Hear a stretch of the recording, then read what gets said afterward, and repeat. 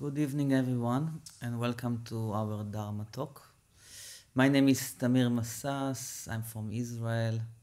I will say a few words about myself and our Sangha, then that you can come to know us much more. I lived as a four years as a monk in uh, South Korea. At the time, Chong An Sunim was the head monk, and I was a baby monk. It was 20 years ago. Uh, this is how we came to know each other, and I decided to follow him after Zen Master Seung died. He left uh, his body on the 30th of November 2004. Nowadays, I'm living in Israel. I have a wife, Dalit, and uh, three boys, and I'm teaching in Israel. And uh, this is part of our Sangha, the Israeli Sangha. So, first, thank you all the Israeli Sangha that follow me coming to this place and doesn't really know what is the condition and what we will find. So thank you for your trust.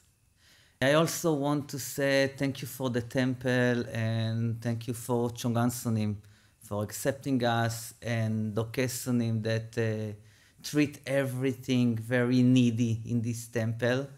Also to thank Bara for uh, managing the kitchen and Esther managing the garden and Rudy at the office. Everybody is taking care really that our condition be really fit and it's so important that you have all this kind of condition that you can put your mind only on practice. Actually, there is four kinds of temple in the east, also in the west, there is four kinds of temple. The first kind of temple, there is no food, no teaching. There is kind of this temple nowadays. Okay, maybe the teacher died, maybe the temple doesn't get any more donation, so it become very poor. So there is no food, no teaching. If you come across this kind of temple, you have to run away for your life because it's a grave, it's a cemetery. Don't stay even one night. The second kind of a temple, there is food, but there isn't teaching. So it's like kind of hotel, okay? Maybe stay only one night. But if you stay longer, you become fat, but not so much teaching. So that's not, not so much benefit. So one night, the day after, run away. The third kind of temple, there is teaching, but there isn't food.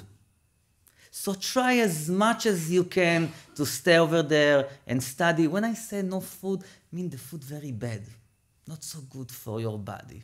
Some temples are poor, but the teaching is wonderful. So you try your best. You stay as much as you can.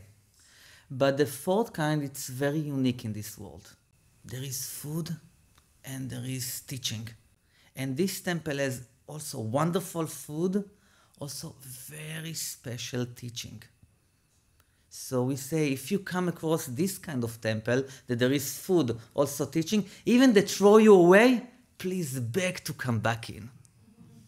Very unique. So for six years, I moved from one country to another country in the East, looking for some teaching. I never knew something about Zen, like Dokei Sunim, he always heard about Zen. I didn't know anything about Zen. But from when I was eight years old, I had a question. I read a book, and when I finished the book, the question came to my mind What am I? So I followed this question many years. When I came first time to Korea, it was uh, May 98, more than 21, 21 years ago. And the teacher, Zen Master Seung Sahn, said, Ask yourself, what am I? Then answer, don't know. Say, oh, this is my home. This is the question I'm looking for, okay? So sometimes the question is guiding you throughout the life and you don't know how you cross the situation, but everything is coming together. For me, it was very special, so I decided to stay four years to study. And I was very lucky because I was very young. So, you know, when you are young, you make mistakes. And when you are the youngest, amongst the, the monks and the nuns. So everybody said, no problem, he's young, he will know someday. So they forget about that, the mistake. So it's uh, very helpful. So twice a year we could keep silence, practice three months retreat. every day around 12 hours a day practice meditation and twice a week have an interview with the teacher. I was lucky in that sense that I was under Zen Master Seung Sahn, so many different teachers, not just from our school, from different school, Japanese school, Korean school, Vietnamese school, many different school because it was very popular, Zen Master Seung Sahn. Everybody want to pay some respect to him. So many different teacher was coming. Also, he was well known that he want to make peace. And he always approached different teacher from different school to make a together action and make peace. So many people knew him. So I was very lucky to learn from different teacher. Also have interview with different kind of teacher. So when I came back home, 2003, I decided I have to give it on. We don't really learn only for ourselves. Yes, we are coming here because we want maybe peace or clarity or stability. We want different things. That's very legitimate. But the most important that we have to realize that we don't really practice only for ourselves. If we really sincerely practice and learn how to keep this clear mind moment after moment, then all our environment enjoy that.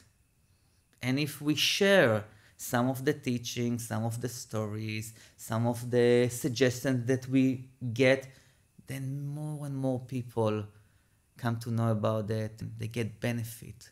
So for me, sharing the teaching, it's not just to become a teacher and share and have this kind of formal talk each interaction, it's opportunity to share something, to give something. This kind of kindness attitude, very important that we will develop in our relationship. And for me as a layman and a husband and a father, very important inside the family. For some reason, we can be very good and clear and meticulous and well know how to speak in front of other people, but inside our family, sometimes we forget about that. Sometimes we keep distance. Sometimes it's like you come here, you become very clear, you go back home and something happened and you forgot about this clearness. So I think our job as a lay people, it's how to mix this wonderful Dharma into our daily life, our relationship.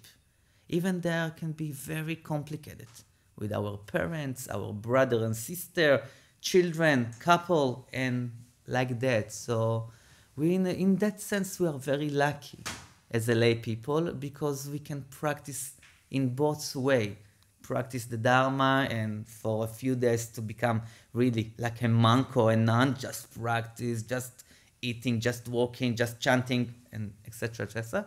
And in the other sense that we can practice, we practice with our children, our husband, wife, parents. So when I come back home at uh, August 2003, I knew that I have unsolved situation with my father and my mother. Because it's very easy to go far away, forget about them. Once a month, you have a call. Whatever they say, you say, yes, okay, no problem. Yeah, wonderful. It's only five minutes talk. So endure your five minutes and take your patient and relax. Only five minutes. But when I come back home, I knew there is unsolved situation. And for me nowadays, that uh, also the Sangha can tell you about it, that my father, also my mother come to the practice together and learn together. This means I solve the situation. I can benefit them as well. It's not anymore only child and parents and keep a distance. We can come close and have a different kind of conversation, also learn together the Dharma and help each other. And that's very uh, something wonderful that our great, wonderful teacher was emphasized that. We are in a wonderful situation we want to achieve something, we want to get something, but actually this teaching it's about putting everything down. Zen Master Sahn always say, if you give up everything, you will get everything. But you need to be very courage to give up everything.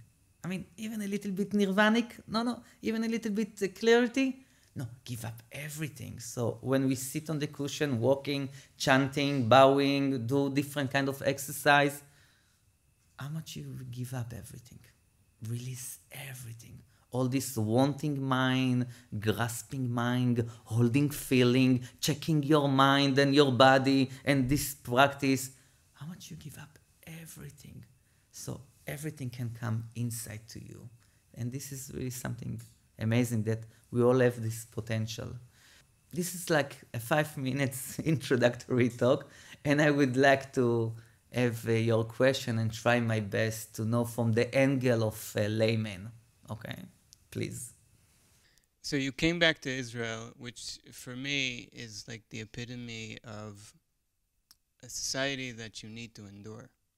Because uh, once I uh, started living in uh, awareness, um, you know, just sitting in the coffee shop, you can hear the negativity everywhere in everything that you do, and everything on television, and even the music and education and traffic, everything about it. And uh, for me, it's it's quite easy. I have uh, the privilege to to go and find a community that uh, speaks to me. But you decided to do it the other way, and I wanted to know how you endure it. First, you breathe, okay, and keep the breathing till the tantien. So yeah, in Israel, it's very tight country. There is always something on the news. It's not boring anymore, not at all. Okay, when you hear this negativity, so you decide you can avoid it and look for a different community that everything is nice and beautiful and you know but this teaching actually teaches something even more important than only taking care of the, my condition, only take care about myself. It was, Zen Master Song was very clear. He always teach us how to help other people. So in the beginning, it's everyone feel uncomfortable, so we get far from it.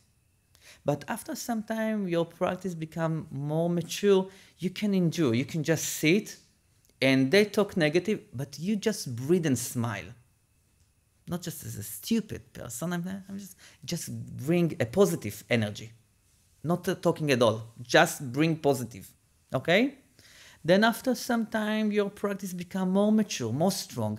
Then you use their negative to become positive.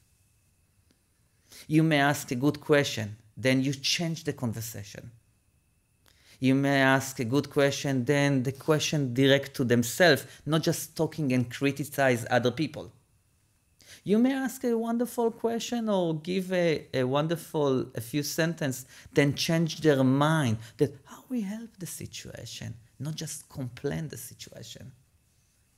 So we said the tone has no bone which means you can say in the beginning of the sentence one direction, and in the same sentence, change to the other direction. This is why we develop a skillful means how to use our tone. So if your mind is very strong, then negative, positive, no problem. You can use both of them.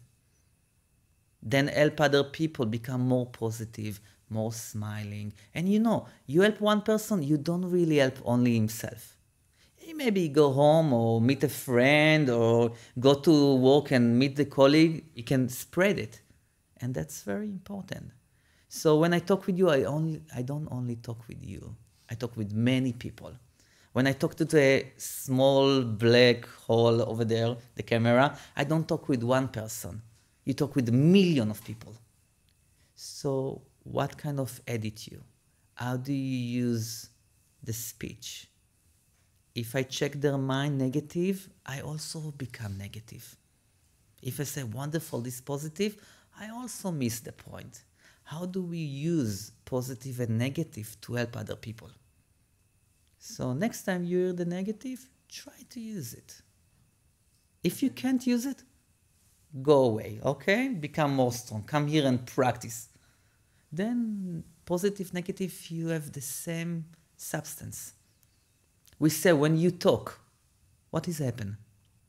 I'm asking you now. When you are talking, what is happening? I'm communicating with someone? Yeah, this is the explanation. We have a communication, interaction. But put your hand next to your mouth and talk for a moment. Okay. What happened? myself. It's only warm air. That's all. The holidays are coming up in Israel, which means I have to sit with the family. Wonderful. Rosh Hashanah. It's, uh, it's the head of the holiday. Okay? All the family come together. Yeah. Please. I'll, I'll try to make the best of it. Wonderful. That's important. Thank you.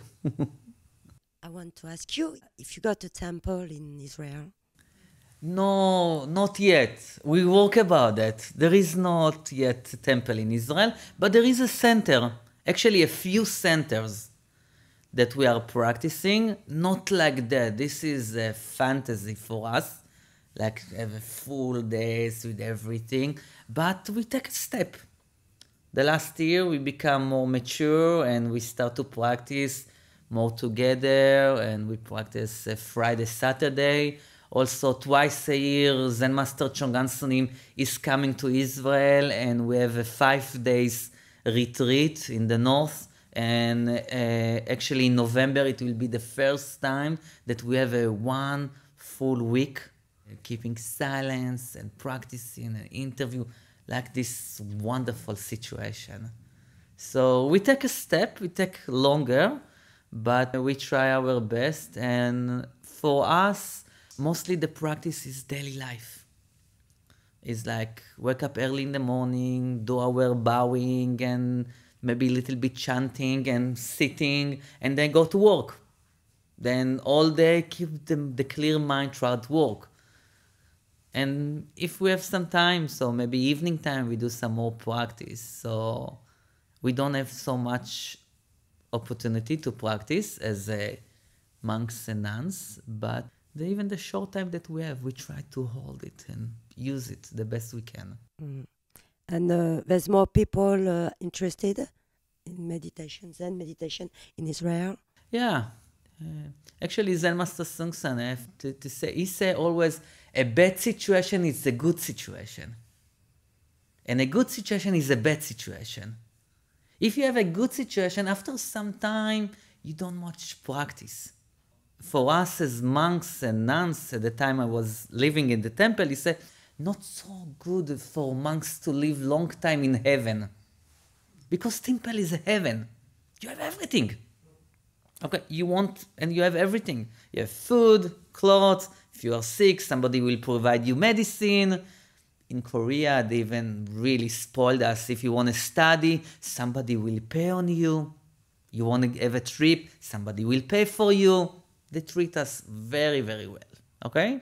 But if you have a bad situation, many difficulty, so you become more close to yourself. You want to find a way out of suffering. When you come to this point, practice become very close. You don't forget your practice because you remember where you come from. It's not far away. So actually, in that sense, Israel is a good situation for. Yeah, imagine. yeah, there is always something. so a bad situation can become very good situation for practice. So many people want to practice, want a little bit to hear about it, to listen about it, to come to int- introduce with something. That's good. Yeah, it's very good, very important. Yeah. Thank you. Looking forward when there's a temple in Israel. Oh, thank you very much. Me too. to visit. yes. How does it come that from your group there are just three men and more than ten women? Uh, oh. With all respect to your three, but are the men not brave enough uh, for this? the women are more enlightened. but actually, how does your sangha look like? I guess this is my karma. More women, okay? it's what you attract. So also in our sangha, more women are in, yeah, and they actually are more brave in that sense they come and they don't think about how it will be and what we will find out. And when they come, yeah, you know, there is the first shock, you know. sleeping with many people around, you know, and sharing the bathroom, you know, and cleaning, you know, and all of this. But very fast they digest and just follow the situation. And that's wonderful, really. So even in Israel, much, many more are, women are practicing that men's, yeah. Zen Master Sun say he gave a talk in uh, 1986, and he said, in this year, finish a round of the man size, 360 years. In Korea, they count many different circles. And then start on 1986, the women's circle. And slowly, slowly, more women become more important, different, higher rank, and you know, different jobs, and will guide more and more company, even countries. And he gave this talk in 1986. So he knew something about it. And actually, his first student was a woman as well. She became a Zen master, Bobby Rhodes, and she helped lots of lots of people. So men, women doesn't really important. The mind is important. Thank you for your question. I want to ask about uh, it's prohibit regularly retreat prohibit to smoke, to drink alcohol, sex, and etc. etc. What we should do if there is a desire or if we're thinking about that, besides of observing, what we can do? Observe what? Observe the the needs. You have a need? Like everybody have, right? I talk about it with you now. right. I'm not talk about everyone. Okay? Yeah. So what need do you talk with me? More like, what should I do if I have thought? You also have thoughts? No, and then what should I do with all the things that, like, I should not think or? If you think about what you should not think, it's also thinking. Our Zen style is very simple. What are you doing right now? It's a simple question. No need so much to think about it. What are you doing right now? Yeah, thinking. You're thinking. I don't ask about your thinking. I'm asking about your doing. What are you doing right now? Nothing. Nothing? So nothing talk with me? No possible. Uh-huh. What are you doing right now? This is how I pull you from your thinking. Okay? What are you doing right now? Just sitting. Just sitting? This is a half of the answer. Give a complete answer, please. Holding the microphone, Okay, so you're at you. sitting, you're holding the microphone talking, and talking with you. and talking with me. right. If you're only sitting, holding the microphone and talk with me, you are not thinking. This is how you cut the attachment for thinking. Just return to what are you doing right now? What do you see? What do you hear? What do you smell? What do you taste? What's happening? Like a clear mirror. Just reflect what happened. Then there is no thinking. Even thoughts appear, it just reflect on the clear mirror. You don't attach to it. Yeah, sometimes we sit and we see the floor and something start to, you know, I need to buy a milk and go to the shop and uh, make a cake, you know, tomorrow we have a ceremony and blah, blah, blah, blah, blah, blah, blah. No. Okay, but you perceive the floor, you perceive the sound. Then these thoughts just melt, it just disappear. You didn't give any energy to it. So for the beginning, just return to what are you doing right now, moment after moment after moment after moment. Then your mind become more and more clear. Okay, try it. Thank you, Ila. Thank you. I was wondering if there were any unexpected challenges that you didn't anticipate before starting your journey of Zen. Is there anything now or anything during your journey that these challenges that you didn't expect? Yeah, there is a few, you know, events that I can tell you about that in this life that bring me on the path of Zen. I don't know about last life, but in this life, there is a few events that uh, make my mind very clear that I need to look for a different way. Like for one example, 25 years ago, my father was reconstruction building and at a large company and I had many different projects. And I drove my car, my new car from the company, cigarette in my hand, lots of hair, you know, nothing stay. And I feel, you know, the king of the road, you know, everything I have.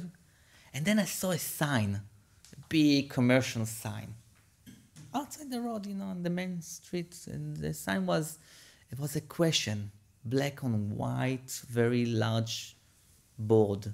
And the question was, what did you do for peace today? And this question hold me. You know, some question very strong. It come inside. You cannot avoid it. You cannot ignore it. It's very strong. I, I stopped the car on the side and I said to myself, I really want peace. But what actually I do for that? I saw at that time that I'm charismatic. I can convince people that they are wrong and I'm right. I fight with people. Actually, I don't do peace. I do fighting all the time. It suddenly become very clear. So this is, was the my turning point. I start looking for different courses, books, got after one year i took uh, uh, i bought a flight ticket one way direction and come to the east for six years and start looking for some teaching that can teach me how to make first peace my mind my heart my belly you know make this kind of peace then after peace with my brother i have five more brother and with my parents and with my friends slowly slowly we can develop this you know so this is one of the events that put me on the path. Yeah, thank you. My question is, I thought the monk cannot get married. Yeah, monk cannot get married. You understand correctly. They can have children. no, but he cannot also have children. I'm not a monk anymore. After four years, I disrupt.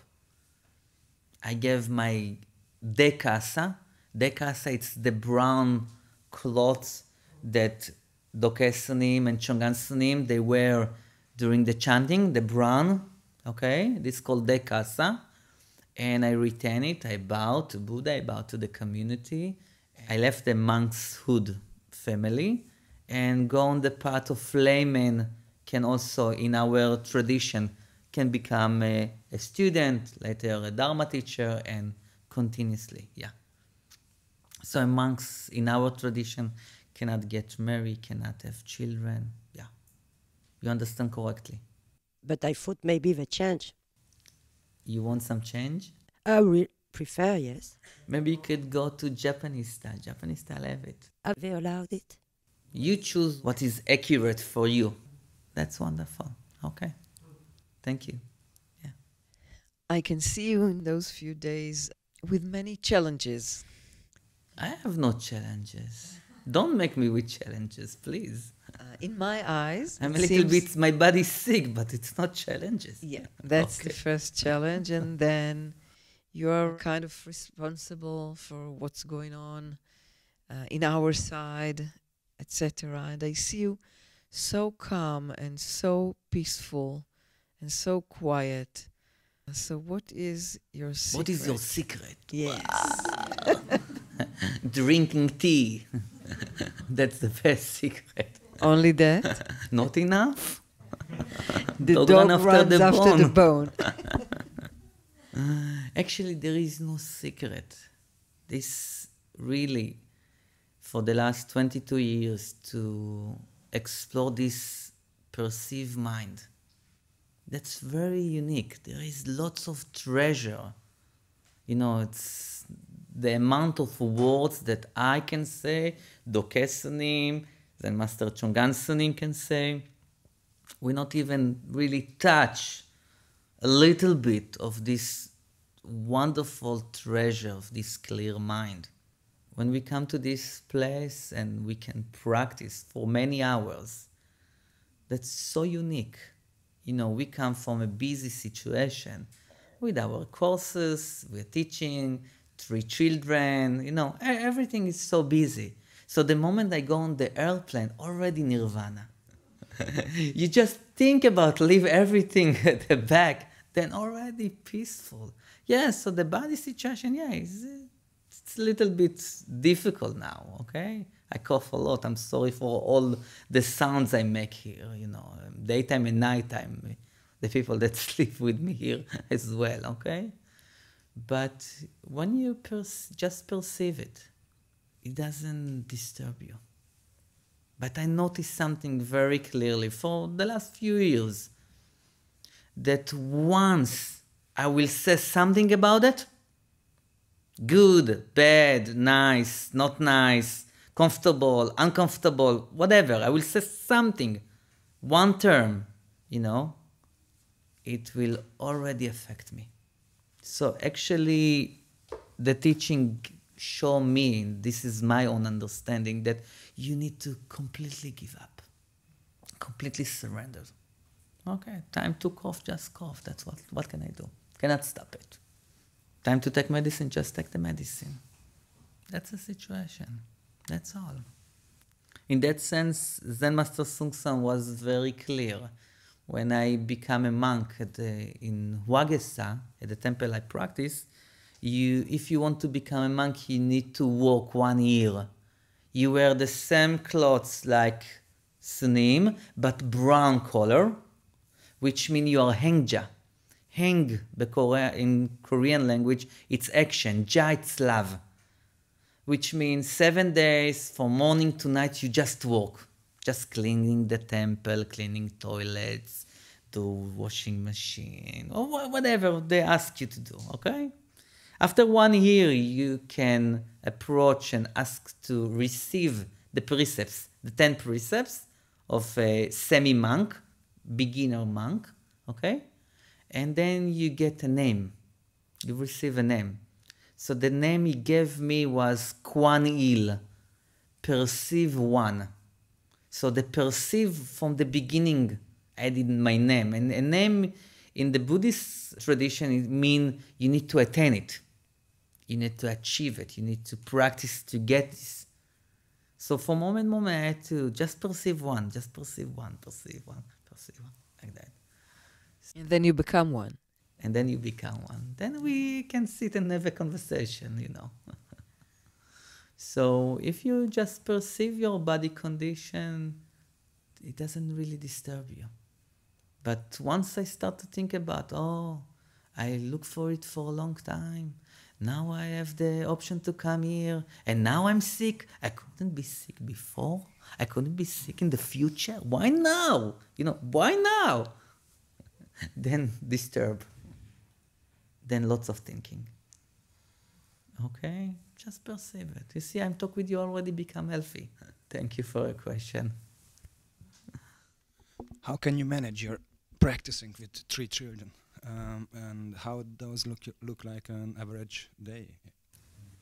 It starts 4:30 in the morning because this is the only time that the house is quiet.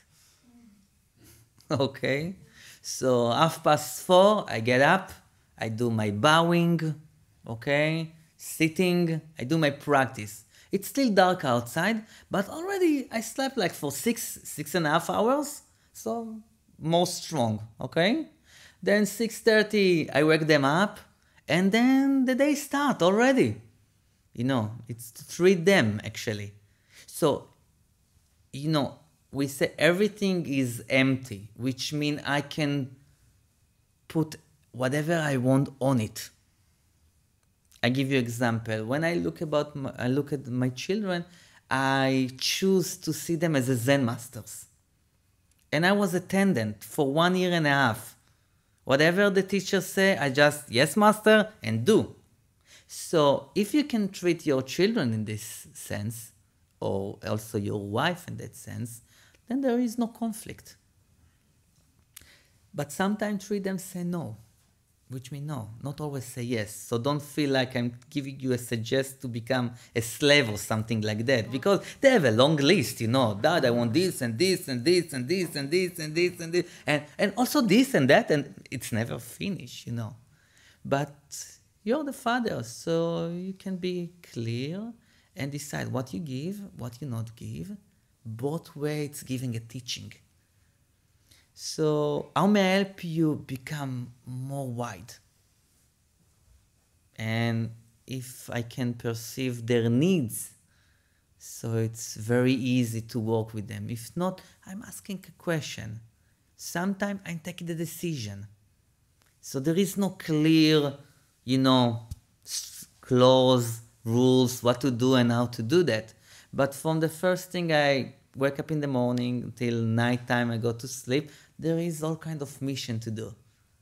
So I try to use the mission to give them value, to give them benefit, to make them more independent, like our practice.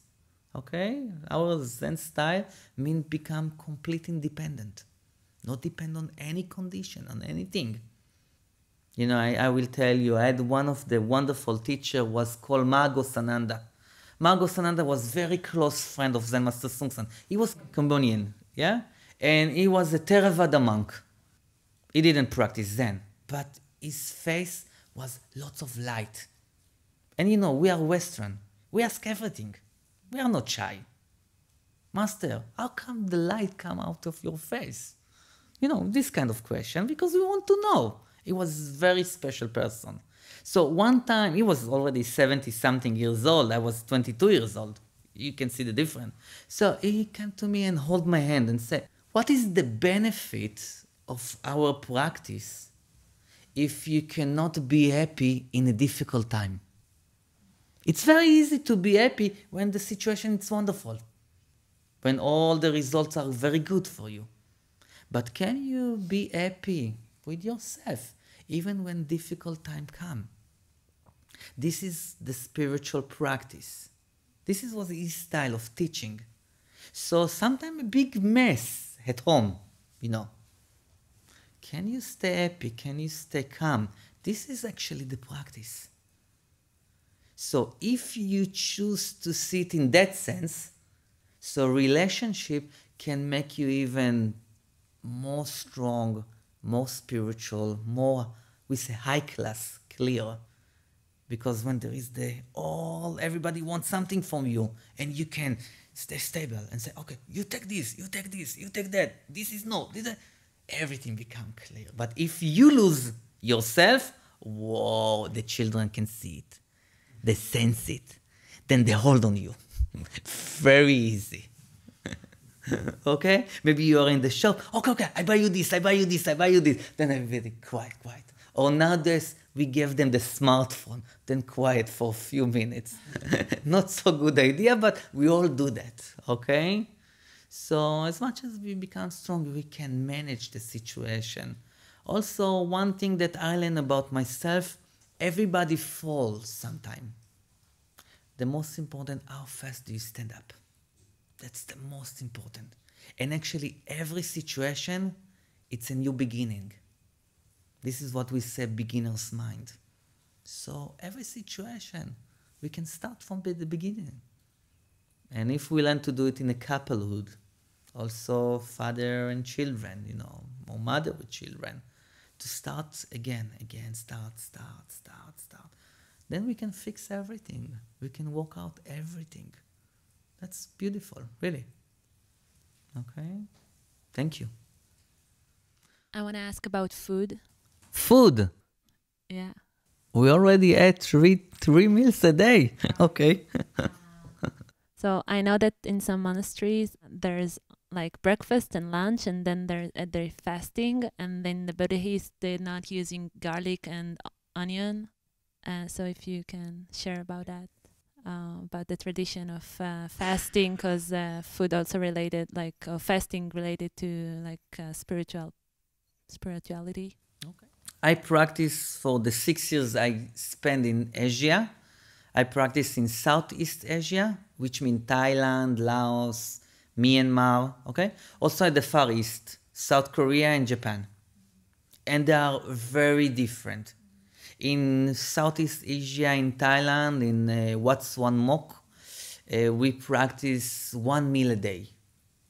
So every day, we had only one meal half past eight o'clock in the morning, you had your meal.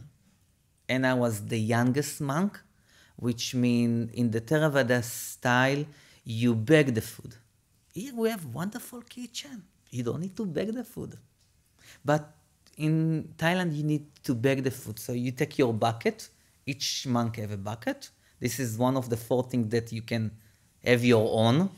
And because I was the youngest, I had to walk the longest path. Okay, one hour each direction, and you shouldn't touch the food, but the smell always come up. So you walk and you are like, when we will start to eat. Then you come to return to the temple. Then we put the food into a small container, food container. Then by the line, you know, in Buddhist tradition, as much as you are an older monk, you come close to the teacher. Also, you take the food first. This is the situation. Youngest, the father. Yeah. So I was the father, you know, at the back, and everybody took the food, and I see the food is getting, you know, it's finished. And they always talk about compassion, but there is no compassion in that situation. I'm very hungry, you know. So I had to clean the container to get some food, you know. After 24 hours, I didn't eat. So once a month, they change. They break the habit. This time, at the full moon, I become the first. And they got the back. So now my thinking, I take everything. I don't leave anything. I will let them feel what I feel all the month, okay? This kind of thinking about food all the time. One time I was so hungry that I took two participants. There wasn't a monk, but I, you know, I pushed them to do this to, with me together. We cut a bamboo and we tried to take down a coconut because I was very hungry. You know, you really can feel your belly. In Southeast Asia, they ate very little. Also, midday finish eating. Cannot drink milk after midday. Only 5, 5 p.m. you drink some tea. Very hungry. And they connect it to the practice. They don't do so much hard practice. They don't do bowing or stuff like that. They don't walk in the garden. Actually, monks in Southeast Asia, they shouldn't pull the grass out. They don't do much work. Lay people do that for them. It's a different kind of practice. Okay, so you deal with lots of thinking of food. I could see people are walking and I see two baguettes walking like really I was so hungry. it took me like at least two, three weeks to relax my hunger, you know, and I was losing weight a lot. In um, Far East, eat three meals a day. In Korea, South uh, Korea, also in Japan, they, they eat three meals a day, rice and soup three times a day, and just to support your body, to maintain your body for the practice. And actually, I find it very well for me to eat a little, but three times, and it support my body and doesn't really hold many things. In Japan, the other extreme. For 10 days, we just practice, eat very little, wonderfully, but after 10 days finish, they break all the rules. They are on the extreme. So I came 98 first time to Japan. I went to Kameoka. It's a very small town outside of Kyoto in a temple. And after 10 days, the master decided to make a party. The first Israeli come to his temple. okay, party, party, you know, I'm the guest owner, so what does it mean party? It means we walk king king. King king it's like walking meditation, but very shortly, because like like that. From the temple to his house, and his wife make a wonderful feast. I look about the food and I see all kinds of meat. At that time I was vegetarian, strictly vegetarian. Don't eat uh, onion, garlic, all these kinds of no ginger, nothing at all. I came from um, Shivananda Center, yoga practice, nothing eating, actually nothing, but they make everything. And they look, look at me, I need to start to eat. If I don't eat, they don't start to eat. Then realize sometimes situation, you have to put down your principle. Life will always challenge your principle. So I eat and they gave and I just do it, just do it, just, just eat, just eat. Then the challenge come, you know, bigger, you know. They bring sake, and I hate alcohol. I don't drink alcohol at all. Sake with a very small particle of gold, you know, in the bottom. Very expensive bottle. Each bottle it's like a 500 US dollar or whatever. And campaign, you know, we drink it. Okay. Then later they put a cigarette. Everybody smokes it. They break everything. And sometimes realize that you you cannot come with your attitude. You have to put it also down. Yeah, all the the agenda I put aside and just follow the situation. So Korea for me it was the midway with food. Okay, not the other, not this extreme and not the other extreme. And I try to keep it at home as well. Eat a little, but eat a few times and take care about his body and maintain the energy that I can continue practice. So I guess each person, each one of us need to find his own way with food, how much it's correct for him. So this is why I like the Korean style with the four ball because what you take, you have to finish. So sometimes you take a lot and then you feel like, and everybody's already finished and you become a little bit hysteric. So you take one of the ball and put it back. This is our style. Sometimes easy, you know. In Korea, you have to finish it. And everybody's like that, you know, waiting for you. You must finish the food. So you really feel bad about it. Then the next time you're so afraid, you take less, so you stay hungry. Then slowly, slowly, between the extreme, you find the middle way. What is accurate for you. And that's wonderful. So you can take on on the spoon the amount of rice that you need, the amount of soup. That's good for us, okay? And I have another question about food. Please, last question. Yes. So we practice here how to finish the leftover and not trade it's away. not a leftover, it's food. It's food, but it's Yeah. become to be leftover. It's become leftover. Okay, just only in, in our mind, yeah. Okay, in, in our mind, it's leftover when it's mixing with water, and we should just swallow it or whatever. So it's there is a tradition that the monk, so everything they serve them, they should eat, no matter what, even if it's meat, right? No, no. Monks have to receive everything. Receive everything. Okay? He doesn't have to put it inside. Okay? This is why in our tradition you take the food. Okay? But in Southeast Asia you have to receive the food. Also, Seung Sahn Sunim always told us you have to accept. You don't have to eat. When I was a monk at Southeast Asia in the northeast in Thailand, one time they had a holiday. So the villages that they bring us the food from them that we, we beg. So they gave me a nice bamboo, very short, close, wrapped.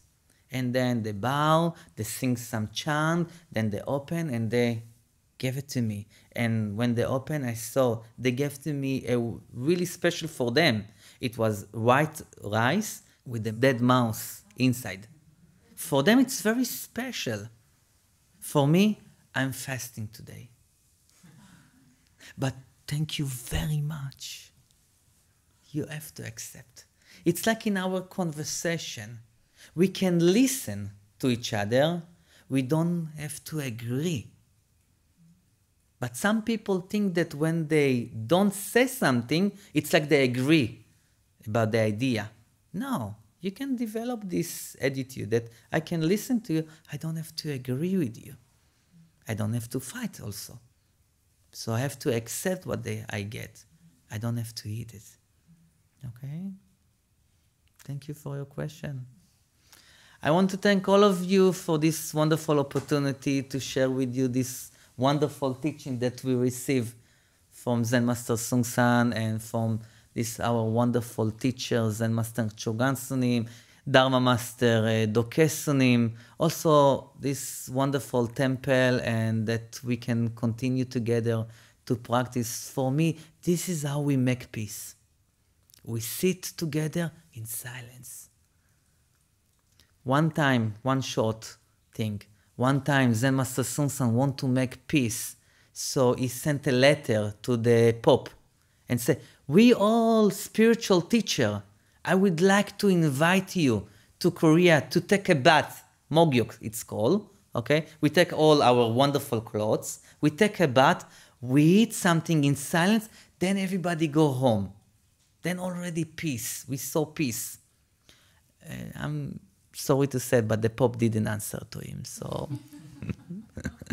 so when we come together and we just sit silently, already we make some peace. So thank you for all your effort and your practice, and uh, thank you for all your questions. Thank you very much.